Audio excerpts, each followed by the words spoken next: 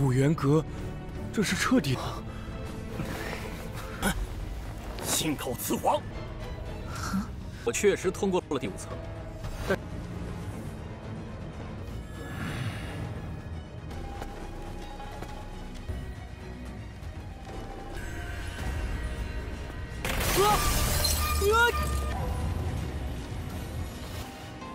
这盏茶是他残存的记忆。你夫人，当本公主不存在。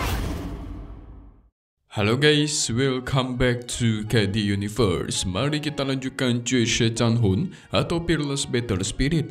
Nah di part hari ini kita semua bakal melihat Cina sudah keluar dari Pavilion Wuyan. Tapi dia dikepung oleh semua orang dan dipaksa untuk mengatakan apa itu rahasia Pavilion Wuyan yang selama ini belum terbongkar guys. Hmm, apa rahasianya ya? Kalau berdasarkan part terakhir kita semua sudah melihat, Cinan kita sudah sampai ke lantai 4, dia bertemu dengan seorang tetua misterius yang menawarkan tawaran cukup menarik guys. Kalau Cina sampai ke lantai 5, dia bakal dikejar-kejar oleh banyak sekali orang untuk membeberkan rahasia Pavilion Wuyan. Jadi bakal diancam gitu. Cina juga tidak akan tahu bahaya apa yang akan ada di depan ya kan. Alhasil sang tetua menawarkan tiga harta legendaris untuk ditukarkan yang namanya jalan menuju ke lantai 5. Yang pertama adalah pil legendaris yang bisa membantu Cina mencapai ke ranah Raja Perang. Ada juga sebuah pedang legendaris yang dinamakan sebagai pedang penghancur bintang. Dikatakan saking kuatnya pedang itu, Cina pasti nanti bisa membelah lima gunung secara langsung. Yang ketiga adalah sebuah buku seni bela diri yang langka guys. Katanya seni bela diri yang tercatat di dalamnya tidak ada di mana pun dan bisa membuat Cinan menjadi raja praktisi. Mendengar tawaran itu sebenarnya Cina sempat goyah, tapi tetap saja dia memutuskan untuk pergi ke lantai 5 guys. Alhasil dia pun naik ke lantai 5 sampai ke Istana Langit. Di sana juga ternyata sudah ada tetua yang menunggu. Sehingga dengan ini pun kita masuk ke intro ya guys. Eh eh. Tidak lama dari itu, secara tiba-tiba pavilion memancarkan cahaya ke arah pulau. Muncullah Cina dari cahaya tersebut. Yang di mana melihatnya kembali, ada yang kelihatan senang tapi ada yang juga marah guys. Hehe. Pastinya yang kesal-kesal itu adalah musuh-musuhnya.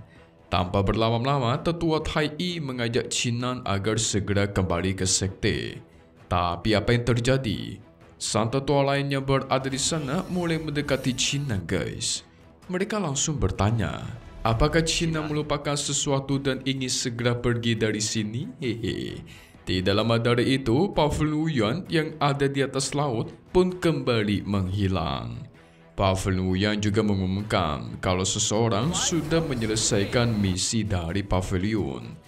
Jadi mulai sekarang Pavel Nguyen tidak akan pernah muncul kembali. Apa? Mau ribuan tahun, ratusan tahun gak bakal muncul lagi guys.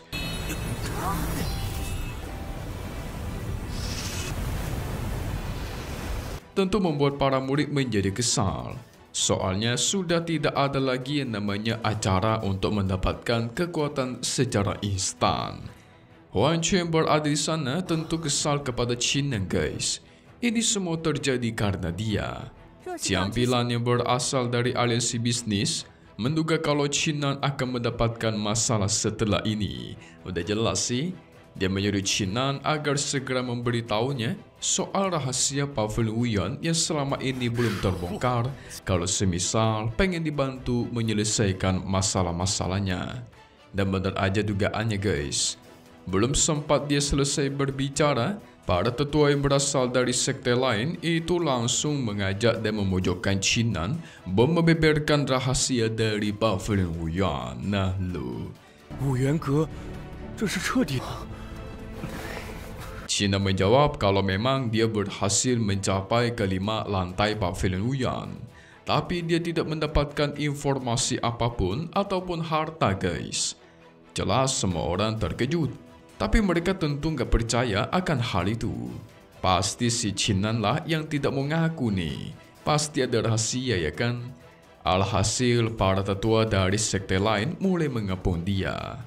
Menyaksikan hal itu, tetua Tai I menasihati mereka. Kalau mereka sampai macam-macam, sekte milik mereka pasti akan berperang dengan sekte Swanling. Tapi apa yang terjadi guys? Di dalam dari itu, beberapa pasukan dari aliansi bisnis juga mulai ikutan mengapung Cinan. Mereka menjelaskan sebenarnya mereka tidak ingin berurusan dengan sekte Swanling. Tapi mereka juga terpaksa melakukan ini hanya demi satu hal, yaitu rahasia dari Pavilion Wuyan.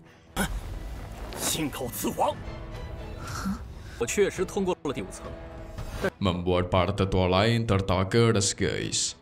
Ternyata ujung-ujungnya aliansi bisnis memiliki tujuan yang sama dengan mereka. Tetua Tai Yi melihat ke sekelilingnya dan bersiap jika ada seseorang yang maju untuk menyerang. Pada akhirnya, Cinan angkat bicara. Dia menegaskan kalau dia tidak takut dengan semua orang yang ada di sini. Soalnya dirinya sangat yakin dengan kekuatannya sekarang pasti bisa lolos. Mendengar hal itu secara tiba-tiba di tempat aliansi bisnis, terpancarlah aura yang sangat menyeramkan guys. Membuat semua orang auto terkejut. Pancaran kekuatan dari seseorang ini kemungkinan sudah mencapai ke ranah yang cukup tinggi. Yang ternyata dia adalah tetua dari aliansi bisnis. Sang tetua bersedia untuk melawan Cinan dan melihat emangnya sampai mana si Cinan ini bisa bertahan dengan kesombongannya. Wah gawat nih, singkat tua. Dia langsung keluar dan melesat ke arah Cinan guys. Nah, mari kita flashback atau kilas balik sedikit di mana waktu itu Cinan yang berhasil naik ke lantai 5 Istana Langit. Di lantai 5 ini, dia melihat ada seseorang tetua dan langsung memberikan hormat. Tapi apa yang terjadi? Sang tetua mengatakan kalau dia sudah lama tidak bertemu dengan Cinan. Tentu Cina bingung dong, kapan kita pernah ketemu coba ya kan? Yang ternyata sang tetua bukan berbicara sama si Cina, melainkan sama sang dewa perang atau martial spirit milik Cinan guys. Waduh. Jelas Cinan terkejut bukan main, ternyata sang tetua ini mengenali martial spiritnya. Sang tetua pun menuangkan secangkir teh dan menyuruh Cinan agar duduk bersama sambil menikmati teh. Dia juga menjelaskan sebenarnya martial spirit milik Cinan itu cumalah bagian atau sedikit sisa jiwa dewa perang yang sudah kehilangan masa kejayaannya guys. Ingat ya guys, sedikit jiwanya saja. Bayangkan kalau jiwanya sudah maksimal guys, sekuat apa itu.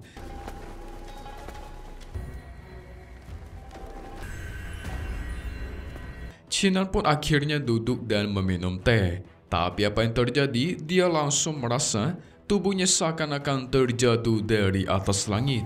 Dia juga merasakan dirinya berpindah-pindah planet yang sedang mengalami kehancuran. Tentu dia bingung apa yang terjadi nih. Tubuhnya kenapa nih? Gak lama dari itu muncullah cahaya yang sungguh terang dan membuat Cinan itu sadar kembali. Setelah itu sang tetua penasaran dan bertanya kembali apa yang sebenarnya sudah Cina lihat. Cina menjelaskan dia melihat ada kiamat yang sangat menyeramkan. Tapi setelah itu dia juga melihat ada cahaya yang muncul secara terang itu juga secara tiba-tiba. Saking terangnya membuat dia sama sekali tidak bisa melihat apa pun. Yang ternyata guys, semua yang dilihat oleh Cinan tadi itu sebenarnya merupakan sisa-sisa ingatan dari Dewa Perang. Jadi sebenarnya teh yang diminum oleh Cinan ini bisa membangkitkan jiwa yang membantu Cinan untuk menemukan sisa-sisa jiwa Dewa Perang yang tersebar ke seluruh alam semesta. Nah, ketika sudah terkumpul semua, Cinan bakal menyaksikan kekuatan sebenarnya dari dewa perang yang terkuat. Gila nggak tuh? Cinan bingung, berarti di sini dia tidak akan mendapatkan rahasia apa pun dong. Sang Toto menenangkan karena ujian lantai kelima ini sebenarnya baru dimulai. Jadi Cinan harus menemukan jiwa-jiwa itu dan dia juga harus bisa melawan rahasia surga. Nah setelah itu sang tetua ini otomatis akan menemui Chinan kembali di masa depan. 这盏茶可以是他残存的记忆。你看， Karena semua informasi sudah dijelaskan, pada akhirnya sang tetua berpamitan dan menghilang dari sana guys. Oh, jadi itulah hadiah yang didapatkan oleh Chinan di lantai 5 ini. Ternyata sebuah misi guys. Kita beralih lagi ke masa sekarang di mana Chinan yang diserang oleh tetua aliansi bisnis. Secara tiba-tiba Putri Miao Miao muncul dan menang serangan itu dengan mudah membuat para tetua tentu terkejut guys. Bahkan tetua aliansi bisnis itu terhempas. Tentu semua orang menyaksikan itu sempat tidak menyangka. Ternyata ada orang kuat lain yang ada di sini. Setelah itu sang tetua aliansi bisnis memberikan hormat. Dia yakin pasti Putri Miao Miao adalah salah satu tetua terhormat dari sekte Xuanling yang berhasil mencapai karena kaisar bela diri tepat di usia muda. Putri Miao Miao menegaskan kepada semua orang di sana guys, dia tidak akan segan-segan melawan jika ada yang berani menyentuh Chinan. Nah lo, si putri sudah bersabda pasti tidak ada yang berani bergerak nih. Tapi kalau nggak ada Putri Miao Miao kayaknya Cina bakal babak belur. Hahaha. Soalnya bisa dihitung sekarang dia masih sangat lemah dibandingkan para tetua guys. Gimanakah cara Cina mengumpulkan jiwa-jiwa tersebut yaitu jiwa-jiwa dari perang dan di manakah dia menemukannya?